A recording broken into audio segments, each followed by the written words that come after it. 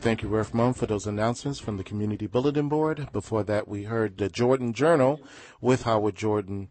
Uh, heard Fridays at 3 p.m. here on WBAI New York 99.5 FM and WBAI.org on the web. It is now 5 p.m. Stay tuned for State of the Arts NYC with Savona Bailey-McClain. Coming up.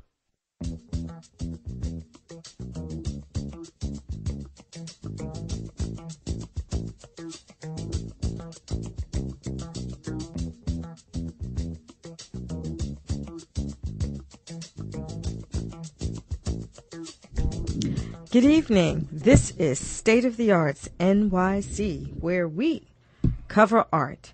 And tonight, our theme is Modern Art Pursues the Truth Relentlessly. On State of the Arts tonight, we will examine the exploding contemporary art scene. And with that said, during this fall season, there are a number of international exhibitions, performances, and talks on how history, culture, and everyday life has impacted modern works. Joining us is Leeza Ahmady, Director of Asia Contemporary Art Week, and we have Jason Jacques, who is the owner of the Jason Jacques Gallery on the Upper East Side in Manhattan. Leeza was born in Afghanistan, where she lived until her family relocated to New York when she was a teen. She is an independent art curator, educator, and noted specialist in art from Central Asia. As the director of the Asia Contemporary Art Week at Asia Society, Ahmady brings together leading New York City museums, galleries to participate in special exhibitions, receptions, lectures, and performances citywide. Now we will talk with Leeza. Uh, Leeza, are you on the line? Yes. Um, thank you, Savona. Um, actually, the na- the spelling, um, the pronunciation of my name is Leeza. Uh, Leeza Ahmady. I am on. Very excited to be speaking with you today. Thank you so much for joining us. So you were, um, well, I should step back and say that um, Asia Contemporary Art Week was launched in 2002, and you became the director in 2005, correct? That's right. And Um, mhm, go ahead. yes. Um, by the time I came bo- on board, um, it was uh, still quite a um, small initiative uh, with mostly Asia specific, um, concentrating on Asia content only. Um, number of museums and galleries, um, and the initiative was actually started with um, independent curators, but Mhm. also collectors and gallery owners who felt like there was a real special need for um, critical attention and a collective um, focus on seeing what was going on at that time um, in New York, which was, um, you know, even though such an international city um, with such international um, art scene, still um, had at the time tendency to um, be quite Eurocentric, and this idea of banding together and uh, learning about each other's programs and and also um, uh, creating a campaign that um, connects uh, all the different voices because Asia is such a um, enormous place. Um, yes, and, at that's that what I, was- I that's what I wanted to break in to say. I think that one of the interesting things that have happened over the last few years is that people are starting to learn about Asia and that it is a huge, huge continent. And there are different areas of that continent. Uh, you have in Southeast Asia alone so many uh, countries that's below India and and smaller islands um, in the um, in that Indian Ocean, in addition to Central Asia, which a lot of people do not know very much about. And so I understand that your specialty was to widen that understanding of um, Central Asia, Southeast Asia, but also the Middle East, correct? Yes, um, absolutely. When uh, you know, back in 2001, 2002, mm-hmm. even as as early as as late as 2010, believe it or not, um, most people when they when they thought about, or I think many still think about Asia, they think about Japan, Korea, China, very mm-hmm. East Asia, mm-hmm. especially in the United States. There's been such a focus academically, institutionally, the way that the collections have been um, you know, focused uh, by let's say the Rockefeller brothers right. and you know uh, the, all kinds of foundations. And um, so the the work really was to pave the way of, of really, um, you know, making a, a, a massive dent and and trying to represent um, what when we talk about Asia, the entire continent, which is uh, indeed it includes um, also um, the Central Asia, which uh, because of its Soviet connection and history for 70 years, uh, it kind of really was very disconnected to, uh, ah. to the rest of Asia and um, and then the Middle East uh, as well. Uh, countries like Lebanon and um, Palestine and Israel and these countries, you know, Iran, Afghanistan, they don't, they're not just, you know, hanging up somewhere in the air. They're, they actually belong in a continent. Mm-hmm. Um, but I think because of the media and and you know political um, framing, there's a tendency not to um, actually situate it within Asia because it's just. Uh, I think it's also just an overload of information. Um, obviously, we, I wouldn't know, uh, you know, every country or every region of Africa. So it does require a special effort um, from um, professionals like us when we are talking about um, art and if we're talking about places um, that we we really try to be uh, as specific and yet as broad as possible. So my work was not to just engage the um, the communities that were or the galleries and the museums that were already showing or focusing on um, art, uh, artists from Asia, but um, those who weren't. Um, for example, um, the Guggenheim and the MoMA and um, uh, the new museum, uh, the larger, broader institutions, uh, the Metropolitan Museum, some of them have had wonderful modern art collections from uh, some of these regions, but you know, when it came to contemporary, um, uh, they've just began, and uh, some of them have in, uh, really uh, very vibrant initiatives, particularly the Guggenheim in the past um, five years have launched um, some of the most breakthrough um, exhibitions, really chronicling uh, what's been going on in um, different parts of Asia, particularly China.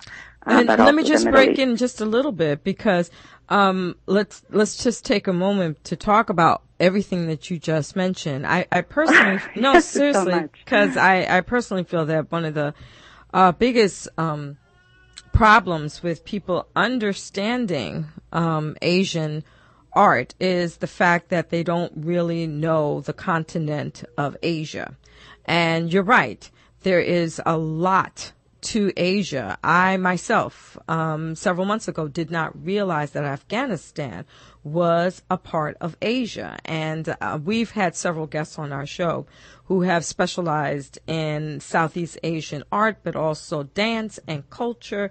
And I've been learning over the last couple of years a lot about Southeast Asian art that has really um, blown me away. So you're right. People need a little bit of geography to understand um, uh, the countries, but also the the broad history, like the Silk Road, and how all these cultures started to intersect with each other and people, and it was kind of amazing. So you're absolutely right. Um, you're also and it's continuing. Yes, you know, and it's that's what's so uh, wonderful about what's happening right now. When you said the explosion of contemporary art, what you know, sometimes the word contemporary art is. Uh, so daunting. It's, mm-hmm. what is it? You know, mm-hmm. but it mm-hmm. actually is. Uh, it, it, it is a uh, a whole new uh, interpretation uh, or uh, moving forward ideas and journeys of uh, creative endeavors that were taken on by you know um, uh, so many people and cultures and heritages in in different parts of the world and in Asia particularly what's so exciting about the contemporary um, art uh, that's taking place now is that the artists are um, working with uh, the the content is new, the issues that they're exploring are new. They're Okay. they're dealing with politics, they're dealing with environment, they're dealing with immigration, they're dealing with mass uh, economic uh, inequality, gender uh, issues, uh, you know, spiritual uh, and and all kinds of political censorships uh, everywhere. But yet they're doing it um, through the, the actual uh, sort of mastery of understanding the the artistic um, histories and practices that were, um, you know, actually uh, have been going on for a long, long time. Um, and it's sort of the renewal of various different um, historical practices, from miniature painting to, um, you know, theater to uh, street theater To fashion. painting, fashion, uh, yeah, um, but, but also, uh, you know, just history and poetry and literature, um, all of it, philosophy, um, and it's so exciting to uh, work with uh, the, the artists who are really um, uh, not just uh, taking, you know, it's, it's not just about art, really. It's it's about integration of art uh, with life and the reality of uh, of life, and and in a way um, representing um, so many of, of the issues that um, that are not being archived, not being looked at, or sometimes they are uh, within politics, within the media. Yet the nuances of all these, um, uh, you know, events, historical events, you know, a historical event can be something that happened just, you know, a few years ago. All right, so let's Um, talk about some of those things. Like, I, I do appreciate the fact that you said that um, you felt like your your efforts are moving the culture forward, and I really do believe in that. Um, I think it's important to move traditions, histories forward, so therefore people can value the breadth of a particular um, culture because if you understand both the past, its traditions, with the issues of today, then it will allow you to to pay attention to those nuances that you mentioned. So, for example. You have a lot of stuff going on. You have um, pop up sort of installations that are going on. Can you briefly tell us about those pop up installations that you're going to be doing? Sure. So, uh, for everyone who uh, may not know um, of um, Asia Contemporary Art Week, it is a very large uh, initiative. It's a curatorial and educational platform, and what the work is to bring in um, any, every year about 30 to 40 museums and galleries join together as a consortium effort. And um, so the, uh, th- there are two layers to the programming, and the next Asia Contemporary Art Week, which will be the 12th edition, actually is um, it extends over three weeks, and it's coming up from October 5th to the 26th. So uh, it will the the one layer or the, the tier of programming is these 30 museums and galleries, which include uh, some of the institutions I mentioned, but also some great galleries like Aicon Gallery, C24, Chambers Fine Art, um, Christie's, DAG Modern, um, and uh, you know there's uh, also Asia-based um, galleries and institutions that have come on board. Beijing Contemporary Art Foundation. We are collaborating with um, uh, Exhibit 320 uh, in in New Delhi, Alserkal Avenue in Dubai. Um, so it's it's quite a, a number of uh, institutions that are joining this initiative, and um, mo- most of them are contributing actual exhibitions and programs, very specially uh, organized for the week. Um, and uh, so you should definitely have your audiences check it out. We have a full schedule. And in the middle of, uh, in the center of uh, all this, we stage um, programs that uh, may not necessarily be uh, programs that the institutions or the galleries um, are able to stage uh, for various different reasons, either because they don't actually have the space or the funding, or they haven't uh, caught up to that. Uh, you know, if institutional institutions, most of them, by the time they actually get to a content that they can present, it's already really gone through many stages of a presentation both in the home countries of the artist and elsewhere. And so by the time it's been introduced in the United States, it's, you know, quite those artists are quite um, they've traveled. Uh, okay. But what, our interest what? is to represent the the voices that are just operating right now and some of those who may not be recognized yet or they just uh, ha- uh, have been, you know, may not show up here all the time because there's just the ratio of activity is so um, great. So that's why I wanted you to programs. talk. Uh, I wanted you to talk about what's happening, like for instance, at the Guggenheim, the Art in China exhibition that they're about to present with a lot of provocative artists, including a number of women artists from China, which is a very um, new phenomenon.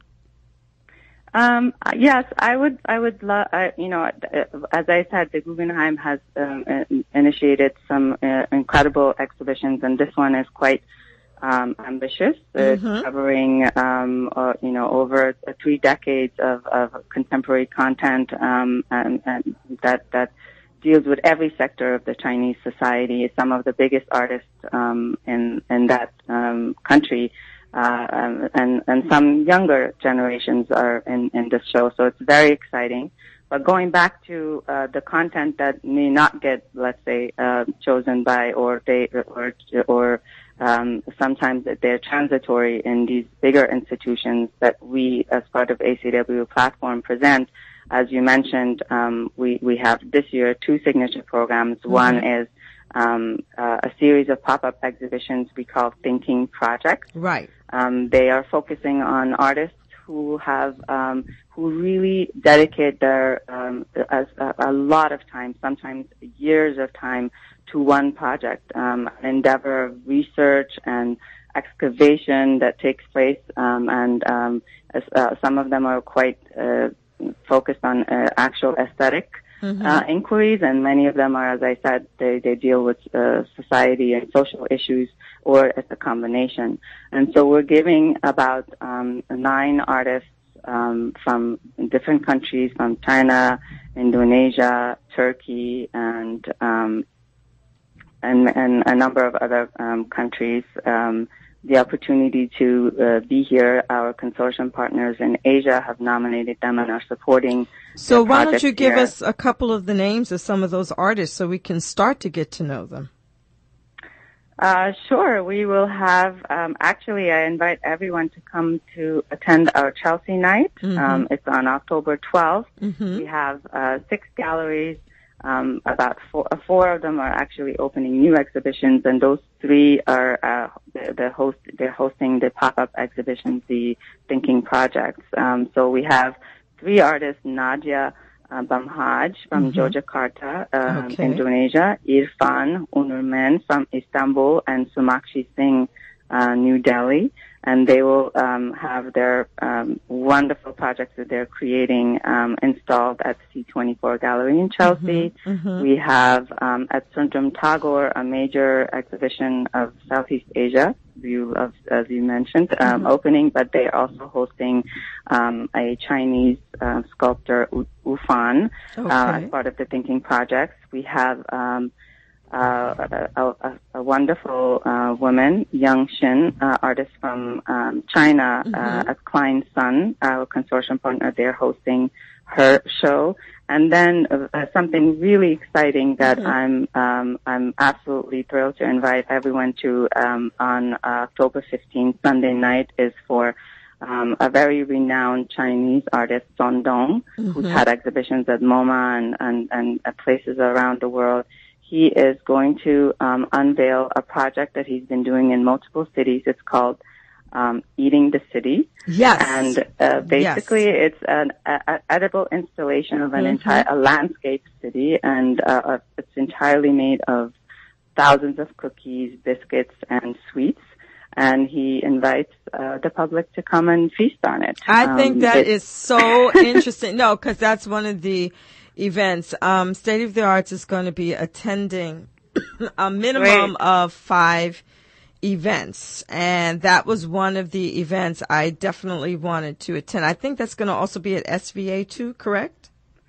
Well, the, the, the, the program at SVA is the field meeting. It's mm-hmm. a two-day art forum, which is actually very unconventional. Mm-hmm. Um, it's a very theatrical, okay. uh, uh, back-to-back, uh, presentation of performances and lecture performances, really uh, provocative discussions by about 30 um, major curators and artists from all different parts of Asia, and uh, it's uh, it, it's it's uh, been it, this is the fifth edition of mm-hmm, that, and mm-hmm. it's actually um, attended um, very well. It's uh, geared towards arts professionals, but we're very happy to um, open uh, seats for the public. Um, but it's the idea is to create the studio visit on a communal scale where we have access directly to the voices of the artists. Why are they doing what they're doing? What is the significance of what they're doing? And what do they need to move it to the next stage? Okay. Um, a lot of times artists, uh, you know, they have the opportunity to exhibit or sometimes they're, they're, they have studio spaces, but uh, sometimes the, what they really need is to actually be um, heard and, and have their insights um, shared energetically, um, mm-hmm. especially within the professional. It's a very, um, you know, it's a it's a program that's very close to my heart. Um, I curate it and um, spend hours and hours really uh, skyping with um, so many people, uh, these incredible creative individuals around the world, and um, the fact that they come to New York uh, from far places and we're dealing with visa issues, as you know, yes. what's going on with the, it, we, uh, this year, we've really been affected by that. We mm-hmm. have um, three artists, one from Kazakhstan, one from Kyrgyzstan, um, another uh, from Indonesia. We're, we're uh, you know, just uh, really uh, chewing on our fingers, hoping that they'll get their visas uh, approved in time. And I um, just wanted to say that yes, um, we've had other guests on the show um, where people were coming from um, the Middle East and they were dealing with visa issues too, and they got.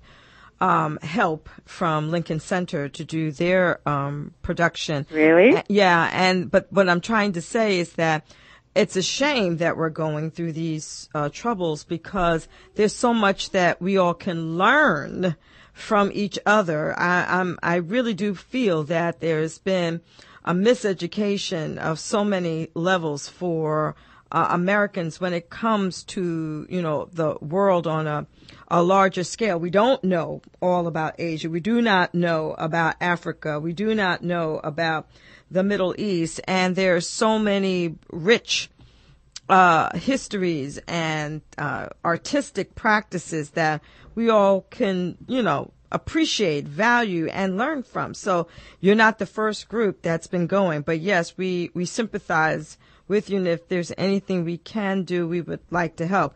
But we need to wrap up this uh, segment, and we're going to just to let our audience know, follow up with uh, ACAW with more interviews and um, put them on our, our podcast uh, platform. So we will let you all know when those additional interviews will be available. But I just want to thank you, Leeza, uh, for joining us this evening and spending a little time with us. Uh, we do appreciate it, and we will be joining you when um, Asia Contemporary Art Week kicks off. Savona, thank you so much. I really appreciate this um, opportunity, and uh, once again, I hope everyone is able to attend um, the, you know, dozens and dozens of programs we have organized at acw.info. Thank you so much. Thank Have you. Have a wonderful evening. You too. Bye-bye. Bye.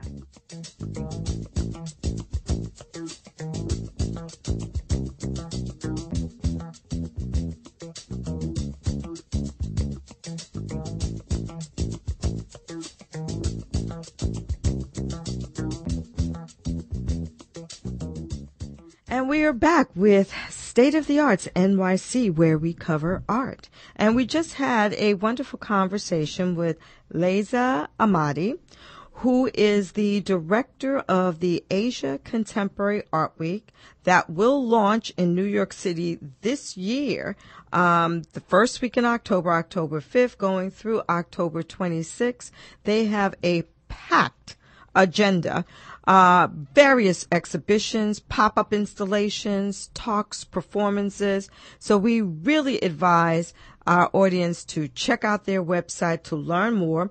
We have posted today two um, informational uh, uh, posts on um, the Guggenheim exhibition, Art and China, 1989. Uh, the theater of of art. That's what the Guggenheim is doing. We also was letting people know about uh, another exhibition that is going on about Asian um, art at the China Institute. Now they deal with more traditional works, but it is a stunning, stunning exhibition with a burial suit made out of 4,000 plus jade pieces. And so that's another great exhibition that deals with Southeast Asian and mainland China uh, art. So now we come to our next guest, and we're very excited to have Jason Jacques, who is the proprietor of Jason Jacques Gallery, on with us. How are you, Jason? How are you? I'm great. I didn't catch your name though. Savona, Jason. Oh, hi, Savona. How are you? I'm fine. So Jason um, has a gallery on the Upper East Side, and he is going to be presenting this fall and into next year a quartet of exhibitions. I like the way that was described. A quartet of exhibitions focusing on contemporary artists, and most of this is in ceramics. And so I found this quite right. interesting. So you have one that has already started, Second Nature, with Aneta Regel. Is that how you pronounce the name? Aneta Regel, yeah. Aneta Regel. Then you have another one coming up very soon, Kim Simonsson, the Shaman Party. Kim Simonsson, yes. Simonsson. Then you have Beth Cavener with the other. That will be in November. And, Right. and that is also being inspired by All That Glitters, the work of William Erklich and Clement Massier. I Massier. Massier. So this is really quite interesting how you are doing this quartet of exhibitions that deal with very um provocative sort of because I saw some of the images provocative um ceramics uh particular Aneta you have this hybrid form of animals and organic um inspirations. I love the the head that she did. It looked like of a wolf a red wolf. And uh Ah, okay, you're mixing things up a little bit, but the wolf is, is, is Beth Cavener, who's an American sculptor. okay. And, uh, and then the show that we have right now is a Polish sculptor who lives in London. okay. And her name is Aneta Regel, and she works in a really interesting um, mixture of materials where she's using stoneware, high fired, high temperature fired stoneware glazes, but also using uh, stones, rocks, okay. Quartz and feldspar, and uh, and and she's she's melting the rocks at such a high temperature that they're becoming volcanic wow melting in, infusing with the clay and creating these insanely beautiful surfaces. Wow. That's quite dramatic. And um and the fact that she's Polish and she's living now in the UK, that's also very interesting too. So this uh I guess it gives Well, her she, she studied in traditional sculpting and carving, originally doing stone sculpting Mm-hmm. uh, and wood sculpting, but doing you know classical uh, figural sculpting, and then she became fascinated with the alchemy of fire and ceramic materials, where you have this loss of control, this randomness in the process, Mhm. where you you you make it and you apply the glazes, but then in the kiln you really don't know what's going to happen Well, that's true. really addicted to that to that sense of loss, that loss of control. Where you know with stone you're chipping away at it, you know exactly what's going to happen next, and she loves that um, that element of, of loss of control. Okay. All right. Well, that's really see it in her work. Okay. So um, now I understand better Etnia uh, and her work. I got her confused with Beth. Let's talk a little bit about Beth.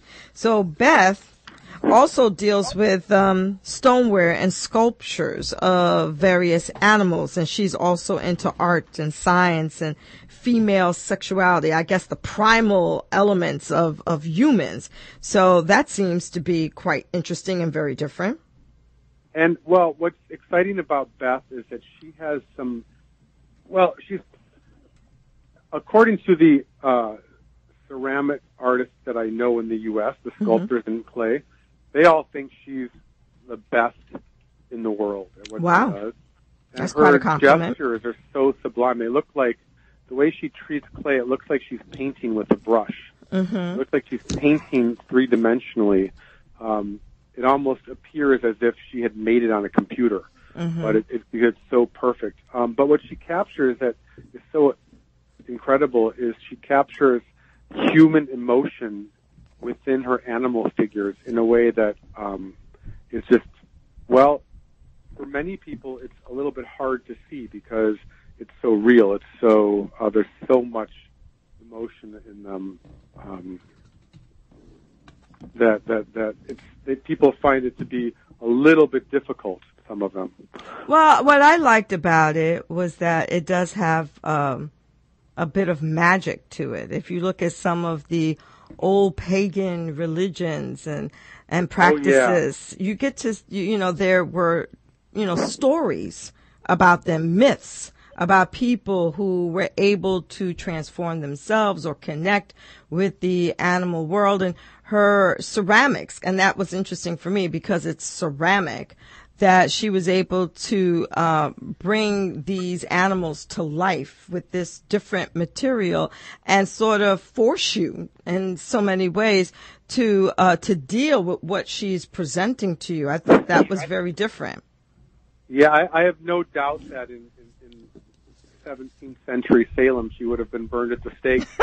um, Beth is, uh, is is definitely a magical creature, and um, and and pagan ritual and all of that. That really says a lot about the way she um, she captures the human spirit and puts it into a into a sculpture. Well, it just means, you know, I, it's interesting for me because if you even look at it from a biblical, you know, point of view, uh, man was supposed to, you know, be the stewards of all the um, creatures on the planet and understand them and, and wasn't, take care of them. Didn't God form man out of clay? Yes. Yes. There you have it. So, there you have it. yeah. The, the, the first sculpture. Yes. That's a very, very good point. That's an extremely good point. So yes, there's this magical element, you know, like the breath of life. All of that is very, very magical. So then let's deal with your other artist. Now, Kim Simonsson. Him is a man, by the way. okay. Sorry Kim, about Kim that. is a, is a, is a Finnish artist, mm-hmm. and in Finland, Kim's a man's name, Okay. and uh, his last name is Sim- Simonsson, and he Simonsson. he works in Fiskars, which is where they make the scissors, those famous uh, ergonomic scissors Okay. with the, with the orange handles that everybody loves and knows. Mm-hmm. So that's a, a Finnish creation, uh, and you know they're very famous for design.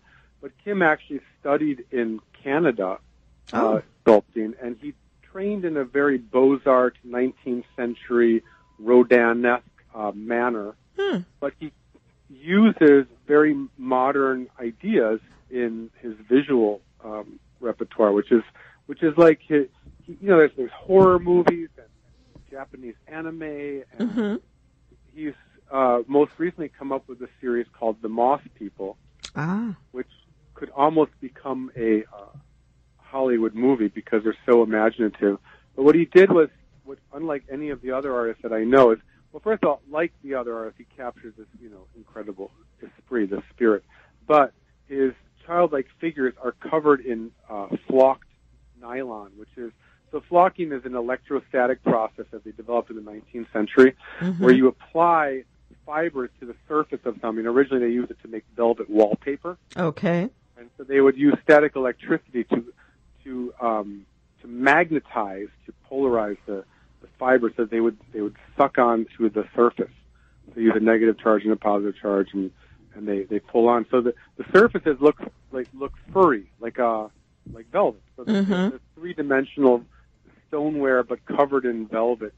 and they're just they're magical. They look like uh, like forest creatures, like the the forest creatures, or um, some of the, and they're very um, I don't know, almost dystopian, almost you know, uh, um, post-apocalyptic a little bit. Wow. Like, called Shaman Party, and the idea is that they're like they're like these kids that have they're- adorn themselves with feathers, and they create backpacks out of broken boom boxes, and and march around in the woods, and they're all covered in moss. They're very very uh, loved. Well, He's probably the most popular artist I've ever had. He's just everybody uh, the most Instagrammable. When we do big fairs like Design Miami down at Art Basel, we uh, Miami every year. They we get you know hundreds and hundreds and hundreds of people Instagramming his work every single day. Well, it's it's a little tactile, and and people like to touch things, and so I guess that mossy surface, uh, grad, you know, uh, eventually will make people come towards it, want to touch it, want to engage in it, uh, very very much. So um, I look forward to seeing uh, his. Are you coming to the show? I am going to come to all of your shows. I, I, that. look That's great. forward to um, seeing his works. Now, did I forget anyone? So that's um, Aneta, Well, Kim, and yeah, then so we have we have we have Aneta now, and then Kim is in October. Mm-hmm. He's opening in two weeks, and then in November is Beth. and then you're doing something in, December. We've got Design Miami, which is going to be a general presentation of all our contemporary artists. But then finally, because the gallery started as an antique gallery, ah, um, so we started in selling. The, the great moment in Western ceramic tradition happened in France, mm, 1890s, and so you have this, you know, the influence of Asian culture on right. ceramic uh, arts. And for the first time in Western culture, ceramics were looked upon as artworks. And one of the first artists in Western culture making clay was named Clement Massier, and he invented the iridescent glaze uh, back in the 1890s by rediscovering the formulas of the lost Hispano-Moresque glaze, which was lost in the 12th century. Wow. It was a, a Spanish Moorish uh, luster glazed ceramic, and then they figured out how to do that, and they took it much farther because obviously chemistry in the 19th century was a lot more proficient than it was in the 12th century, and Correct. they figured out how to make iridescence. And his first show was uh, with Tiffany Glass, so Ah, Louis Comfort Tiffany and Clement Massier were shown together in the first Art Nouveau gallery, which is called the Gallery L'Art Nouveau. So the style that we know, uh, the Tiffany style we know as Art Nouveau, was actually the name of a gallery in Paris owned by Siegfried Bing.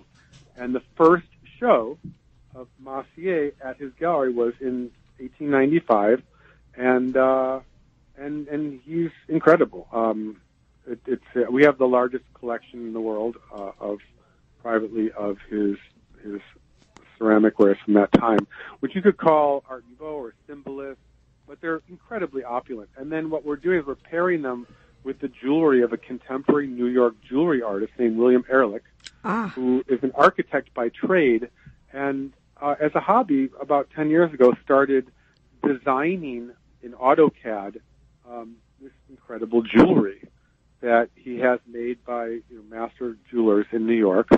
Um, and Bill, William Ehrlich, the, the, the jeweler, happens to be a, a very important New York contemporary art collector and a big Clement Massier collector. ah. So that's the Actually, my- connection. the connection. He was my very first client when I was selling out of the flea market in Paris in the, in the early 1990s, and so we've been friends for 30 years.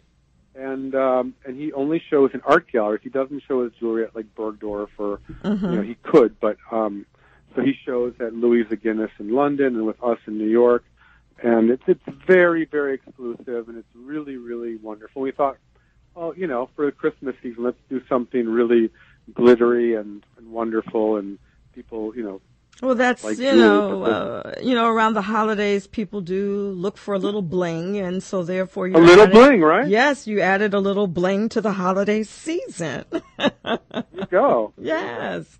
Well, that's great. Now, tell us before we end our segment with you. Now, I understand that you founded your gallery in 1991, but it sounds like it goes a little further back in France. Is that correct?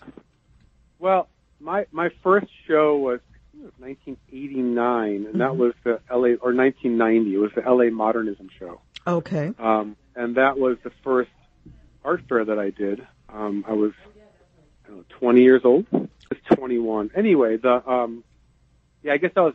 I, let's see, 1990, 22. I was, I was born in 68. So anyway, I was 22 years old, and then I left directly after that and started picking for American dealers, and I started my business in the flea markets in Europe, finding uh, Art Nouveau ceramics because this area in Western ceramic tradition is arguably the most important and innovative moment, but it was overshadowed by the glass collecting of that period. Ah. So the glass was super popular, and ceramics were, you know, kind of nerdy museum stuff, and uh, but super cool. Maybe a little bit too weird uh, for most people. okay. Uh, you know, I think I thought that glass was easier for people. It's Mm. really shiny, and it's it's easy to like it, right? Because people Right. like shiny stuff. It's really it's in our nature. It's easy to love water or diamonds or glass. okay. But, um, ceramics are a much more sort of, I don't know, contemplative material. And um, But then you know, also and- it had this functional history that might make it difficult for people to see as art sometimes. well, yeah, and, and you know, in Eastern culture, you know, they don't make a separation Mm. between craft and art. To them, it's all painting is craft too. Calligraphy is craft, but it's their highest art form. Mm-hmm. And in, in Asian culture, the most expensive art object ever sold is a ceramic vase. Yeah. So, um, and they pulled, so the, they don't have that same sort of, you know, they don't look at, at, at ceramics as a lesser art form. mm-hmm. But obviously in Western culture, we kind of see toilets, I think. I think that, you know, people think of porcelain and, and dinnerware and Right. china cups and, and they don't, they see it as a utilitarian, um, material. And they haven't really, they didn't grasp until the 1890s that ceramics were, until they, until Japan opened its doors to uh, Western trade, and they start, it became a very popular collectible that Western uh, artists started looking to clay as a place to express their, themselves. But then I want to so- interject a little bit. You know what? Also, I think it really is cultural. When you think of, because I know one of your specialties is uh, uh, Japanese uh, ceramics, but um, it's just that their culture is very seamless. It flows. It has the, a flow to it. Where in Western culture, it, it doesn't have that same sort of flow. Cause as you were talking about it, it just made me think that in Western Europe, they didn't have that kind of, uh, sensibility. Maybe because the landscape was different and the way people were, uh, trying to carve out their lifestyle. It was kind of more regimental. You know, you had serfs, you had, uh, you had the various lords. There was this kind of separation of different things. So therefore, it was maybe harder for Westerners to see, uh, ceramics as being a part of everyday life. What do you think? Well, I think that I think that you know in, in Eastern culture they had that too, but they didn't. It wasn't dishonorable to be to throw tea bowls. You, know, you could be you could elevate yourself within the society there from the lowliest tea bowl maker to a national treasure. Okay. You could be honored for your abilities, even if you weren't born into it. Okay. there, there's kind of the difference is that um, it was only really in painting that an artist was able to elevate himself, you know, further. And so, and that mostly came from the Renaissance, where you know the church was um, hiring these painters to decorate the the churches. Right. But the, you know, th- there's this this idea that this, this view, this this very Zen idea Mhm, of going and mhm. looking at forty thousand tea bowls and picking the perfect one Mm. really wasn't what wasn't in, in it wasn't a Western idea at all. Right. And, uh, Right. But the the Art Nouveau period was the first time that they made vessels, but not as uh, utilitarian objects, but as artworks that were meant to, you know, be used in the home to decorate your home, and they were never meant to have flowers in them. Okay. Okay. were, they were standalone objects. And anyway, the point is that the they, it was kind of not very interesting for people, and they were very inexpensive. But they were in all the museums, so we brought that back um, to the forefront of people's minds. and we built huge collections for private collectors, and and and built the collections for the U.S. institutions to the big museums here, and that's really where we got our start. And then in 2010, I started the contemporary program to sort of continue that idea of of, of Western ceramic tradition in the modern world. Well, this was great. I've learned a lot from you. I, I, I like ceramics very much. I've I, I don't know if you know this. I curate public art, and I actually presented a Japanese artist who did a um, phenomenal um, uh, ceramics work. We uh, placed it in um, Jackson Heights, Queens, because he wanted it to be amongst a lot of people that could appreciate. Do you remember his name? Oh yes, and um, I, I will share that with you. It weighed six hundred pounds. I will not forget that to my dying days. And it was a Buddhist rendition of um, of Sleeping Beauty with a Nirvana theme. And I love that. yeah, it real just the thought of that when every time I say it, I, I remember that it was really quite beautiful. And then it was all about the reclining Buddha, and I took the time to learn about the reclining Buddha and what it meant culturally. And then what was interesting, he, and that's why I liked your artist, the head of the Sleeping Beauty was of a sheep Ah, and uh, he had his uh, studio in Williamsburg, East Williamsburg. He had a kiln, and um, the Department of Transportation joined us so we could go to his studio as he was preparing the sculpture to go into the kiln. It was a very exciting moment to see how that, that, was must have been all. a big kiln. Yeah, it was a big kiln and we were very excited to see how he was placing it all into the kiln. And the way he uh, actually crafted the hair of the sheep, which had a human quality. It felt like it was braided. It wasn't like clay. It was that real. It was that unique. I'll make sure that you get to see images of it. It was quite stunning. And then it was Oh, on a metal base. So therefore, it could be presented onto the street, and um, uh, and you know, in a seamless sort of way, it was tied underneath to the base, so it could have you know be flushed on top. But yes, I do understand what you're trying to do with the ceramics. I think this is uh, magnificent. So I just want to say thank you so much, Jason, for joining us Thank you this for afternoon. having me. This was a lovely, lovely conversation. And so we're going to get ready to end this segment and join our audience in a few seconds. Thank you.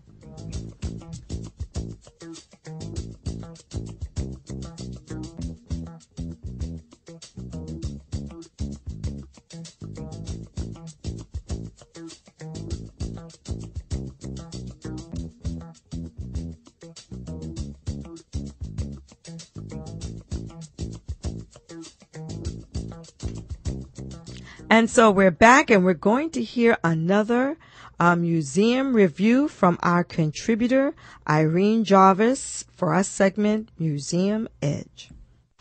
This is Irene Jabbers at the Museum Edge. To commemorate the anniversary of World War I, the Metropolitan Museum of Art at Fifth Avenue, New York City, has launched the exhibit World War I and the Visual Arts. The exhibit runs until January 7th, 2018. This show focuses on the responses of artists and the arts to what is known as the Great War, World War I. The show unfolds year by year up to and through the years immediately after the armistice of November 11th, 1918, and beyond the Treaty of Versailles, signed on June 6, 1919, officially ending the war.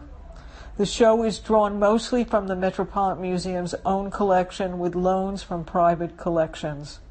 The exhibit focuses on how the war influenced subjects, techniques, and materials in the art making.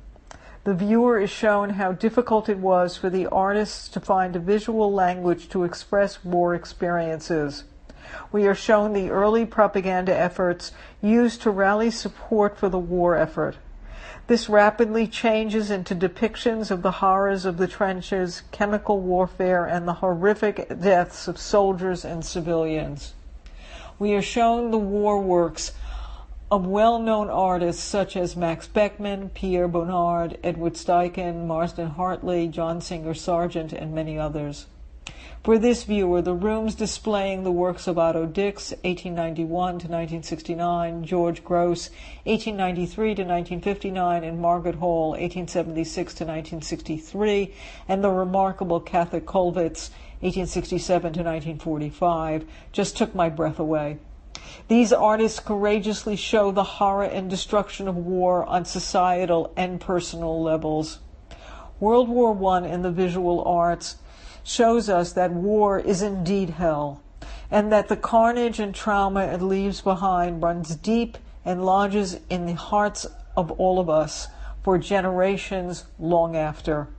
The exhibit is at the Met Fifth Avenue and runs until January 7th, 2018. This is Irene Jabbers for State of the Arts, New York City, WBAI. And thank you, Irene, for another wonderful um, museum review. We are getting ready to wrap up our show. Just a few quick announcements for our audience. One, on September 30th, uh, WBAI is participating in a forum with the Apollo Theater in Harlem. Uh, that forum is based on a brand new production called We Shall Not Be Moved. And we had both the composer and the librettist on our show, Daniel Roumain and Marc Joseph. And they're going to just talk about some of the issues that are still um, being felt today about uh, communities and justice and how do you deal with differences. So that's a free event. So you can get your tickets at the Apollo Theater. That event will be on a Saturday afternoon, September 30th. So come out to the Apollo Theater in Harlem and uh, get to meet some wonderful people, hear great panelists, including our producer, Gary Byrd, who will be the moderator for that event. So that will be on September 30th. And we just want to remind folks that on our Facebook and Twitter pages, we have uh, put down a lot of information so that you could go to the various fairs this weekend. There's several art book fairs. You got the Bushwick Open Studios that are coming up. You have musical events. Many of them are free. 23 museums are offering free admissions this weekend alone. So check on our sites. That's facebook.com slash S O T A R T S N Y C. That's the acronym for State of the Arts NYC. You can go to our Twitter pages, same handle, twitter.com slash S-O-T-A-R-T-S-N-Y-C. You'll see a lot of information of places where you can go, many of them free. So with that said, we want to wish everyone a great week. It's the first day of autumn. I love autumn. And uh, we want you to get out there, enjoy your family, your friends, and we will see you next week for another rendition of our show. Thank you so much. Bye bye.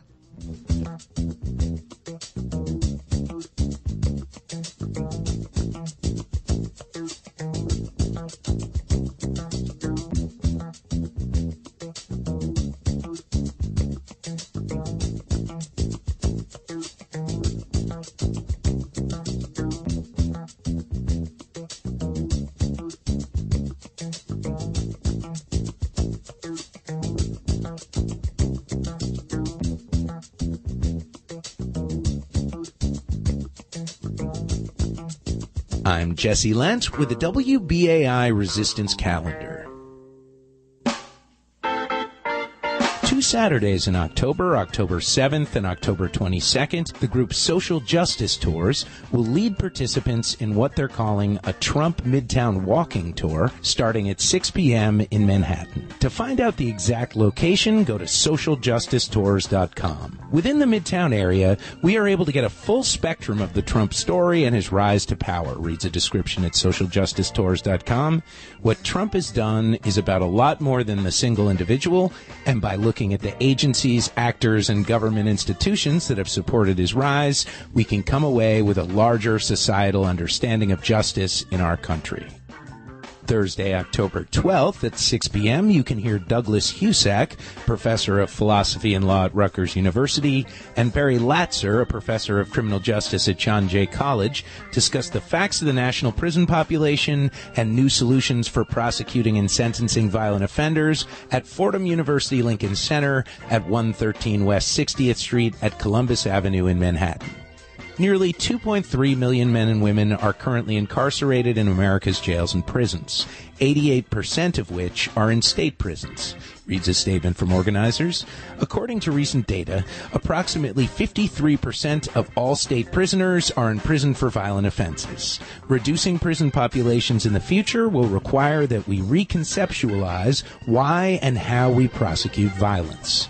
To get more information, contact Fordham's Conferences and Events Department at events at tkc.edu or call 212-659-7200.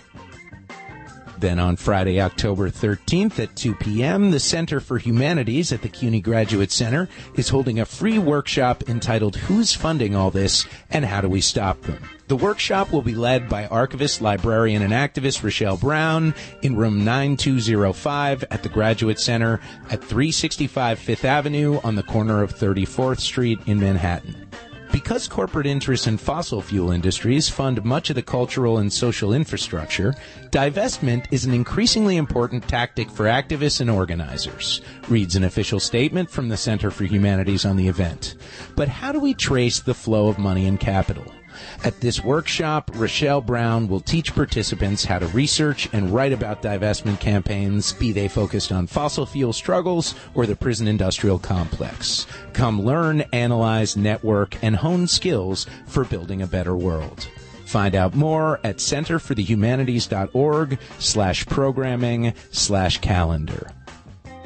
The following day, Saturday, October 14th at 11 a.m., the Queens Action Council and City Harvest are sponsoring Queens Food Day at Socrates Sculpture Park at 3201 Vernon Boulevard in Astoria.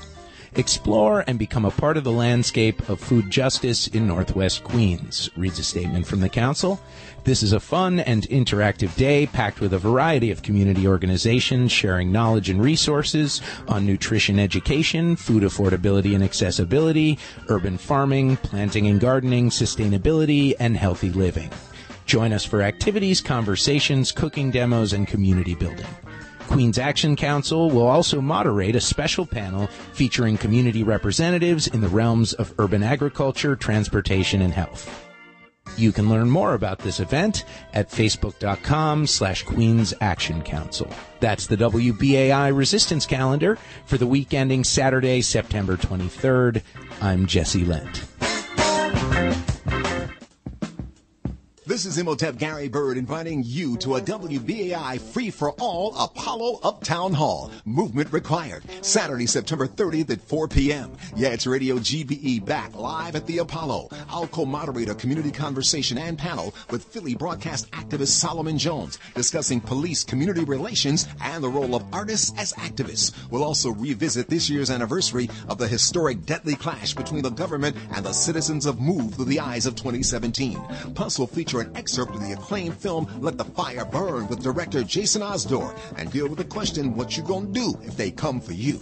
Also joining us civil rights activist Tamika Mallory, Marc Bamuthi Joseph of We Shall Not Be Moved, former NYPD detective Graham B. Weatherspoon, and WBAI's illustrious blacks. Apollo Town Hall Movement Required. Saturday, September 30th at 4 p.m. live at the Apollo. Register in advance for your free tickets. Visit WBAI.org or ApolloTheater.org.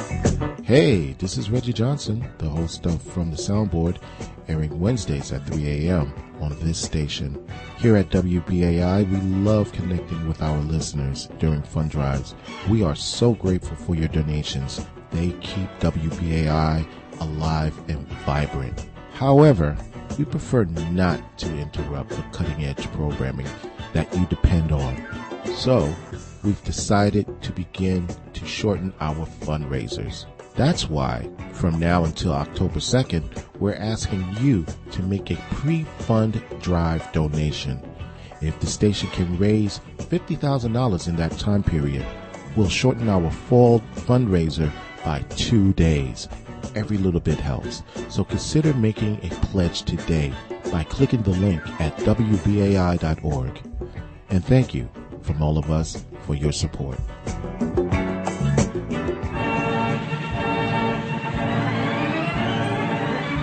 It's the WBAI Resistance Raffle. Hi, this is James Irsay. Join me Wednesday, October 4th from 6 to 9 p.m. when WBAI will be holding a gala raffle to raise funds for the radio station loved by numbers of people.